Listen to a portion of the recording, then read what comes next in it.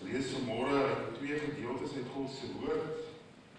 Eerstens lees ons Genesis 6 vers 5 tot 9 en dan Hebreërs 11 vers 6 en 7. Genesis 6 vanaf vers 5 in my Bybel op bladsy 6. Toe die Here sien hoe groot die verdorwenheid van die mens op aarde is en dat hy sy lewe lank net slegte dinge bedink. As die Here bedroef daaroor dat hy die mens op die aarde gemaak het. Dit hom diep gegrief. Die Here het gesê ek sal die mens wat ek geskep het wegvee van die aarde af.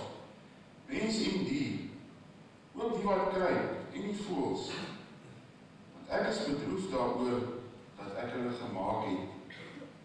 Maar Noag is deur die Here. Hier volg die verhaal van Noag. Noag was 'n regverdige man.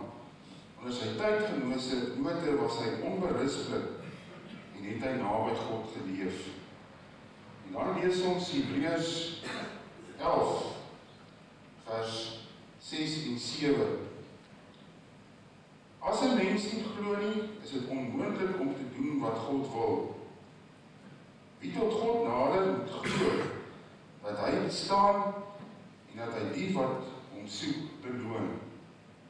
Omdat Noag geglo het, het hy God eerbiedig gehoorsaam toe hy gewaarsku is oor die dinge wat nog nie gesien kon word nie.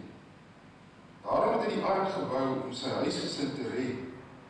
Sy geloof was 'n veroordeling van die wêreld, maar dit het hom erfgenaam gemaak van die vryspraak wanneer die geloof kom.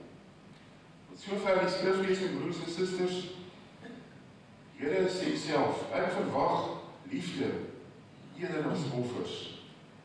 Toewyding aan my eerder as brandoffers.